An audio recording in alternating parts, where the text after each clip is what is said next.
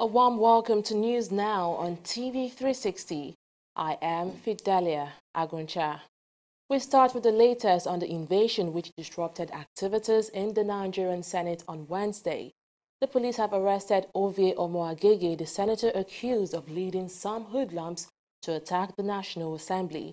The mace, which signifies a Senate authority, was also stolen by the hoodlums. A statement from the Senate hours after the incident accused Omoagege, who was suspended last week, of leading the attack. He was arrested by officers of the Abuja Police Command immediately after the Senate resumed plenary. Lawmakers in the upper chamber have now given the Inspector General of Police Ibrahim Idris and the Director General of the Department of State Services, Lawal Daura, a 24-hour ultimatum to recover the mace taken from the Senate chamber. The senators, in their reaction to the invasion, described the act as treason and an attempt to overthrow a branch of the federal government of Nigeria by force. Meanwhile, some eminent Nigerians have been reacting to the invasion of the Senate chambers. A former lawmaker, Babatunde Ogala, has criticized the invasion of the National Assembly premises. Ogala also criticized the senators who he says have a role to play in the commotion which disrupted proceedings at the Senate chambers. His views were shared by human rights lawyer Femi Falana, who also condemned the invasion.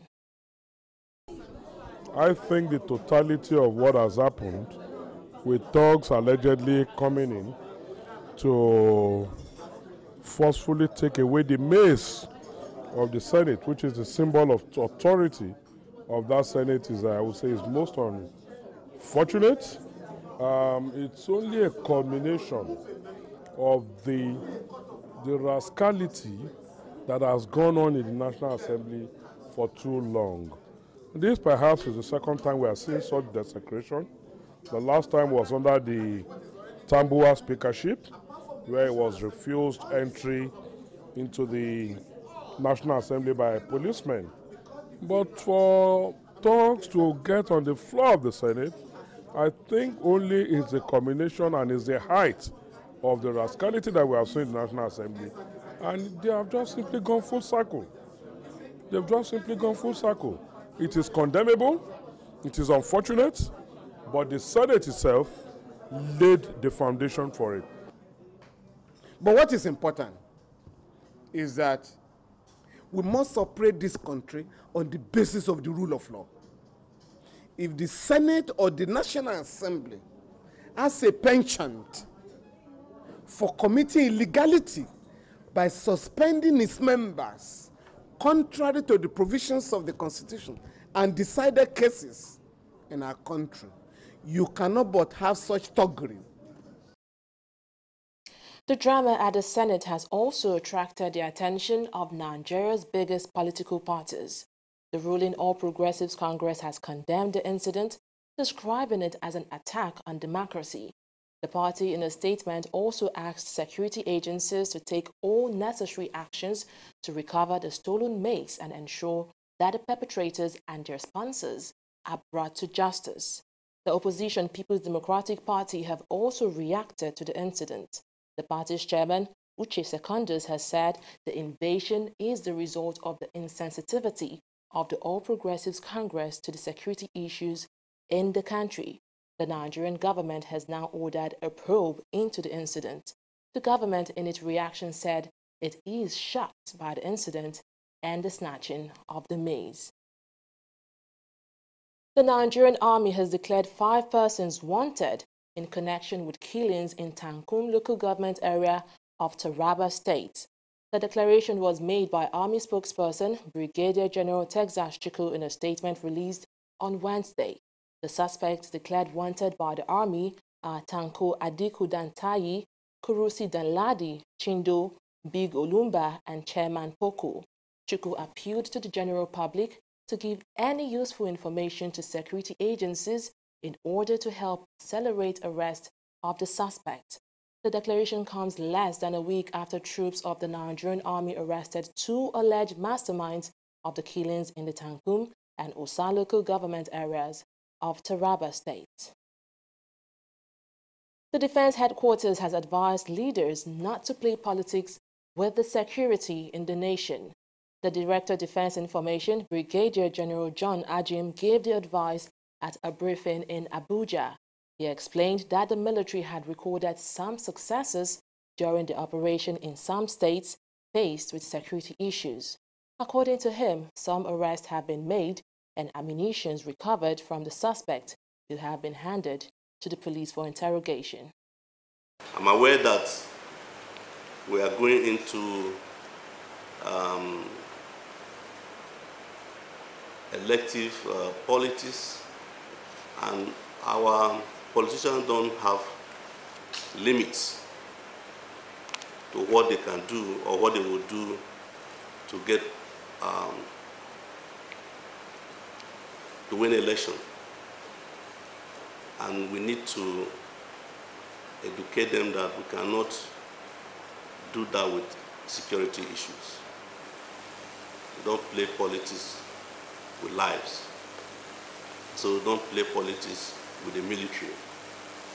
There is no alternative to Nigerian military. We have a situation that right now, even the military is overstretched. The when we are complaining about the military, we don't, we don't put into a correct perspective. The military is not um, happy that um, almost all the, the internal security uh, operation in the country, we find ourselves doing that.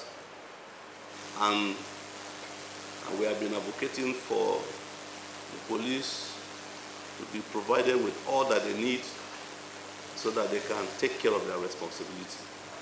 And I don't think the police will say we are taking care of their responsibility. Of course, where we go in, evidently, the power, the criminals, they have more power than what the police can contain. And I don't think there is a disagreement among us. A new report by the Social Economic Rights and Accountability Project, SERAP, has revealed that 55 high-profile Nigerians allegedly stole 1.354 trillion naira from the nation's treasury between 2006 and 2013. In a newly launched 112-page report, SERAP explains the dimensions of corruption and catalogues why Nigeria has a small number of convictions in the prosecution of corruption cases. Serap consultant Essa Onoja explained that despite these offenses, little is done to prosecute offenders. He listed the causes of delay of high-profile cases in Nigeria as alleged ill health of offenders, immunity clause, which is now used as a license for impunity, loopholes in legal processes, political interference, among others. From the study, uh, the report discovered that between the year 2000 and 2017, that the EFCC secured an average of a hundred conviction each year for low-level offenders. So for low-level cases, the EFCC secures average 100 convictions per year. But within the same period, 2000 to 2017, there were only 10 high profile convictions from a total of 177 high profile prosecutions conducted. The major impediments or obstacles to enhance conviction rates in high profile, uh, high profile corruption cases in Nigeria include suspicious withdrawal of cases from investigators and prosecutors, delay tactics by defendants, ambiguous provisions in anti-corruption legislations, suspicious court orders, restraining law enforcement agencies from performing their statutory functions, uh, transfer of judges handling corruption cases. When we raise issues like this, we want to put it in the front burner of public discourse so that those who rule us might perhaps listen to the point we are making that in the fight against corruption, certain things still, to be, still need to be put in place so that the fight is effective, efficient, and direct. Also present at the launch was human rights lawyer Femi Falana, who condemned the high level of impunity in Nigeria's judicial system. If you want to invite a big man or a big woman, the EFCC or the ICPC writes a polite letter. You are hereby invited to be interviewed by the undersigned. They will put the name of the officer and his phone number. Then when you get that letter, you will call the officer. I am not in Lagos. Can we fix a convenient time that I can see you? Do you understand me?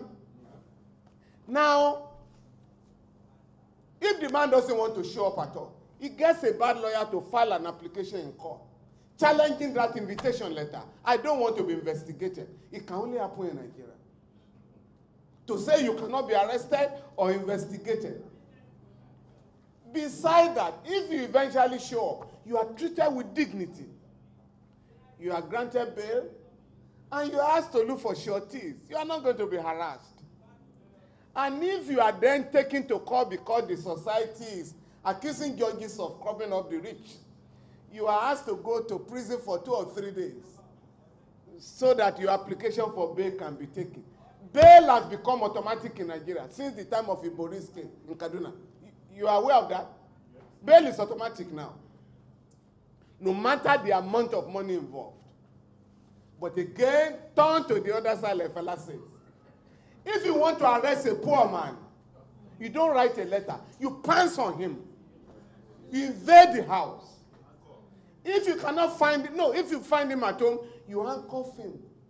If there are two or three of them, you can like shame them. You humiliate them in the neighborhood. If they get to the station, wow, you are welcome with beatings. And you haven't been to a police station. Now, unlike the rich, when they are being asked to go to prison, they say, no, we want to go to EFCC cell. You know why? The EFCC cells are the best in Nigeria. Go and find out. The Senate has stepped down the Electoral Act 2010 Amendment Bill, which seeks to reshuffle the sequence of those in a general election.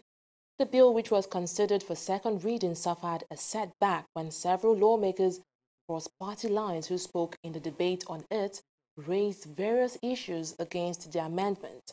The lawmakers resolved that the bill be stepped down and referred to the Senate Committee on Independent National Electoral Commission with a mandate to remove the clauses faulted by President Muhammadu Buhari, for which he withdrew his assent. The parts not faulted by the president would be sent back to him for assent. The Independent National Electoral Commission, INEC, has sworn in seven new resident electoral commissioners. The commissioners who were sworn in by INEC Chairman Mahmoud Yakubu brings the total number of seven recs in the commission to 33. In his remarks, Yakubu expressed confidence that the new recs would contribute to the Commission's determination to make the 2019 general elections the best in the country with um, track record of service in the academia, public service, and the private sector, it is gratifying to note that you have made positive contributions to society in various ways. I'm equally delighted to note that some of you have managed elections at the national level as resident electoral commissioners. I'm confident that you will bring to bear on your new assignments the experience of the recent past that will contribute to our determination to make 2019 the best election in Nigeria so far. As election managers, you must maintain the required openness and consultation. At the same time, you must be very firm and courageous on the side of the law as well as our regulations and guidelines at all times as required of an unbiased umpire. Responding on behalf of the new recs, Shegun Agbaje, representing Ekiti State, pledged the new commissioner's readiness to justify the confidence reposed in them. He also expressed confidence in the leadership of INEC Chairman Mahmoud Yakubu.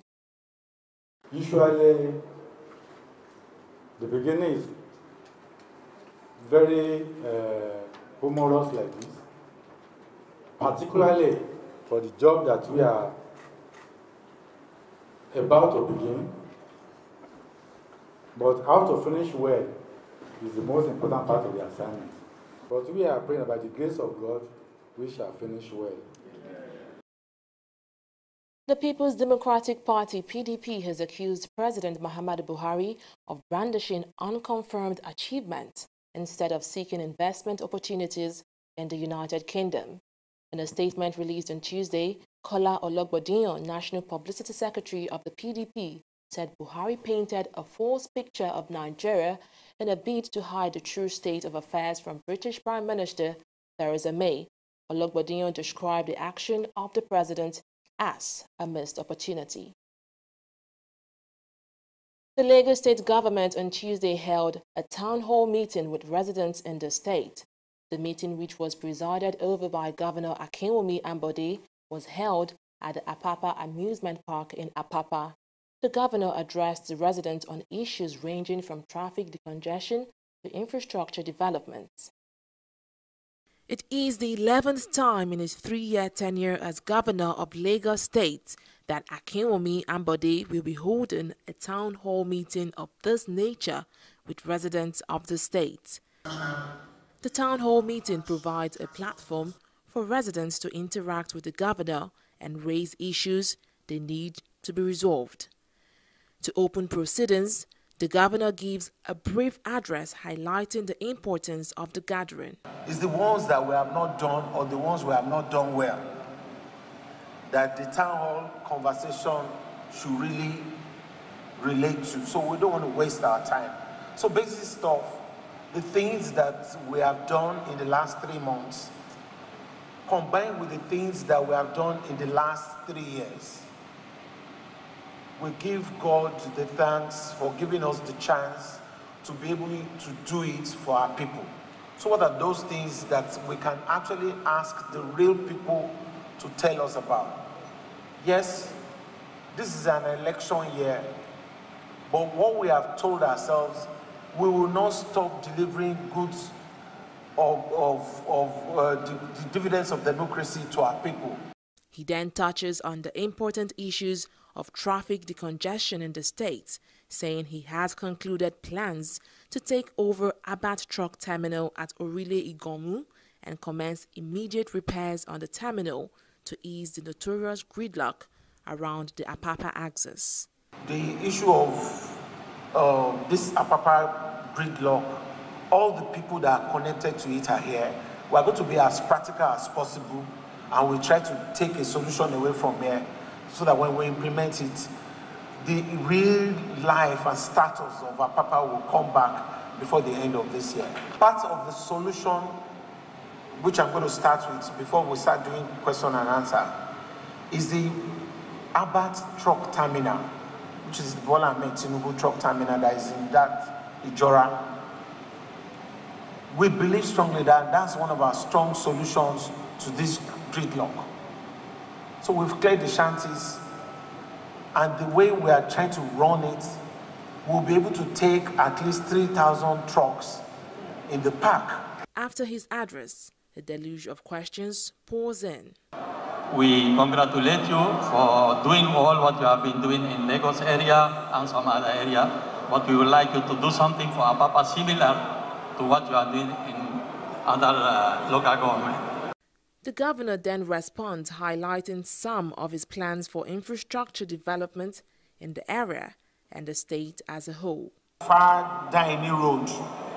So the economic value that this road is going to bring, I can hear from the floor that it will create more social impact and the road will be more impactful on our people than any other thing.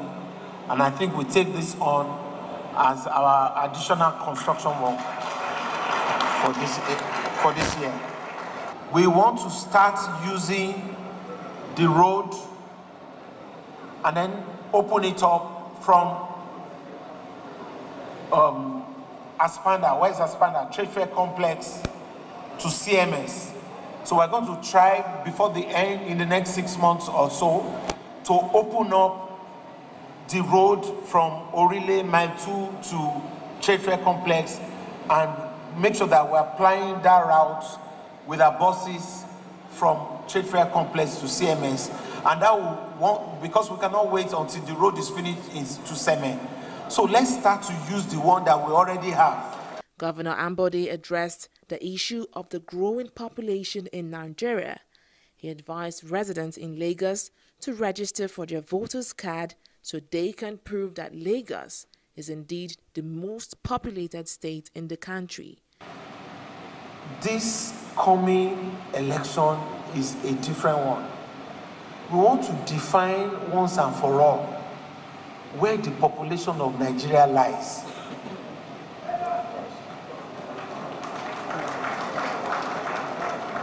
So it's not just about APC or about any other party or about people who are not interested. We want to use the PVC to send a message that the real population is in Lagos State. There are still three more town hall meetings expected to be conducted by the Lagos State government before the 2019 elections. The governor is expected to seek another term of office and will need the support of the people. Meetings like this go a long way in fostering better relationship between the government and the electorate. Still watching News Now on TV 360. Up next is Business News with Esther Vese. Do stay with us.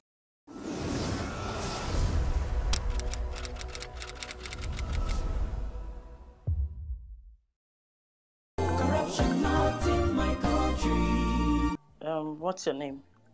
Onosode Omorife. May you check your own list, cause the list where they outside. Onosode on your name never do. Your name is Onoriode. You even went as a fashion designer. As you don't come back, so eh?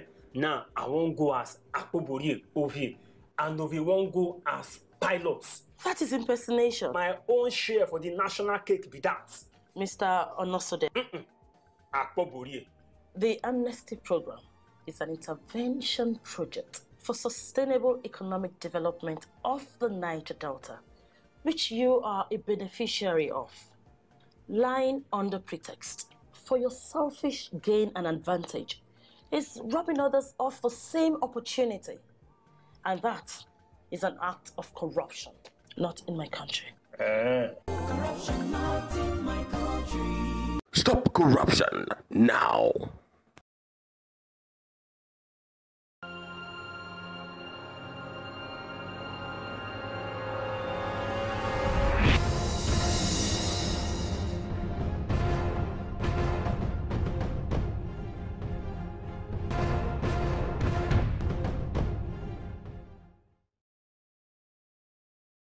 Welcome to Business News.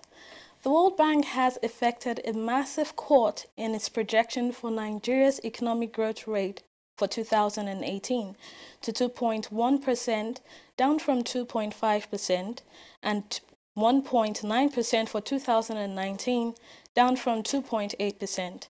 This was contained in its latest World Economic Outlook just released at the ongoing spring meeting of the World Bank Group in Washington, D.C., United States of America. Though the new projection still shows a huge leap against the actual 0.8% achieved in 2018 and 0.2% higher than its projections in October last year, it indicated not only a reversal of position but also a widening gap between the positions of the federal government and the World Bank on the recovery prospects post-recession. The federal government also projected GDP growth rate at about 3.5% in its 2018 budget. Despite the positive figures from the World Bank, the International Monetary Fund IMF has projected that Nigerians' inflation will remain in the double digits in 2018. in the April edition of its World Bank Economic Outlook unveiled on Tuesday at the ongoing spring meetings in Washington, D.C., the Bretton Woods institution said inflation rate will, however, moderate in both years. Nigeria's inflation rate is currently at 13.34% in March 2018. The government targets an inflation figure of 12.4% in 2018 budget. Oil prices rose on Wednesday, lifted by a reported decline in U.S. crude inventories and by the ongoing risk of supply disruptions. Brent crude oil futures were up at $72.07 per barrel, while U.S. crude futures were up 49 cents at $67.01 per barrel. In the United States, crude inventories fell by 1 million barrels last week to 428 million barrels, according to a weekly report by the American Petroleum Institute. Official weekly U.S. data will be published by the Energy Information Administration, EIA, on Wednesday. The Nigerian equity market closed in the red, recording a total of 230.170 shares in 4,090 deals. The old share index declined 0.04% to close at 40,772.26 basis points. The market capitalization stood at 14.727 trillion naira at the close of trading, down by 5.930 billion naira. Julius Berger, which led the gainers table, appreciated by 4.05% to close at 27 naira per share. Oando rose by 9.70% to 9 naira 5 kobo per share, followed by EcoBank, which saw its share price appreciate by 2.63% to close at 19 naira 5 kobo per share while Northern Nigeria flour mills rose by 4.58% to 6 naira 85 kobo per share. 18 stocks recorded losses, with Seplat International Breweries, WAPCO, and Nigeria Breweries leading the pack.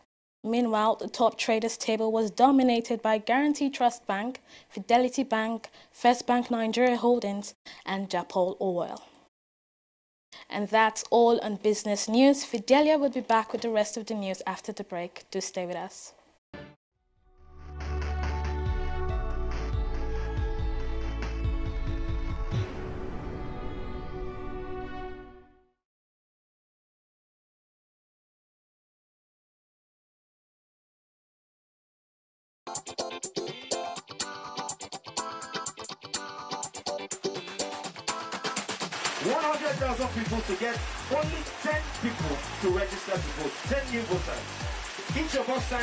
When you get back home, when you get to your place of work, your school, try and get 10 new people that do not have their PVC to register to vote. We're going to take on our website onevoice.ng, onevoice.ng. Please go there, give us the information. If you get 10 people to vote, then you're amongst us.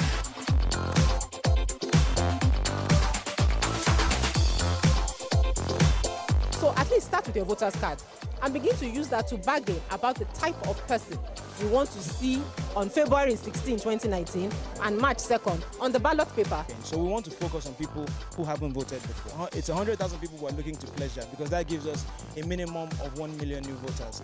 Instead of to say, oh, uh, my vote no go count now. Try vote first, then you see whether it go count, you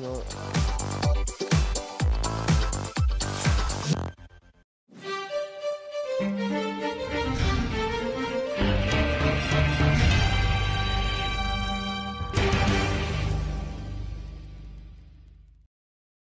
Welcome back.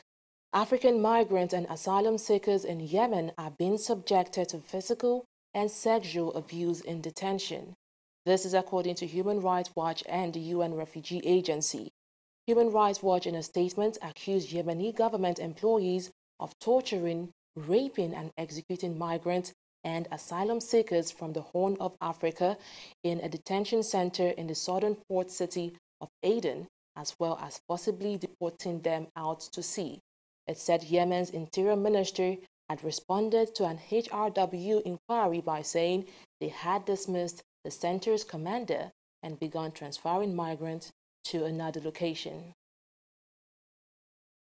Zimbabwe's government has sacked more than 10,000 nurses who went on strike on Monday in an apparently hardline attempt to quell labor unrest. Vice President Constantino Chiwenga said the nurses had refused to return to work after $17 million was released to increase their pay. He rebuked them for not going back in the interest of saving lives. Reviving the health sector has been a key challenge for President Emmerson Mnangagwa, who recently agreed to pay rises in order to end a doctor's strike. Moving on to sports now, Plateau United Football Club on Tuesday missed out on a place in the group stages of the CAF Confederation Cup following a 4-0 defeat against USM Alger in Algeria. The match played at the Stade 5 Juillet was the second leg of their playoff round fixture. The Nigeria Professional Football League champions, who won the first leg 2-1, lost out 5-2 on aggregate. Players from the Premier League champions in waiting Manchester City dominated the Professional Footballers Association Team of the Year announced on Wednesday, occupying 5 out of 11 spots. City defenders Kyle Walker and Nicolas Otamendi, midfielders David Silva and Kevin De Bruyne, as well as all-time top scorer Sergio Aguero were named in the side.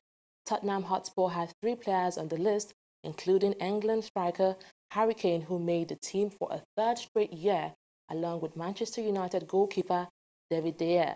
Liverpool forward Mohamed Salah, who has scored 40 goals across all competitions this season, also made the team.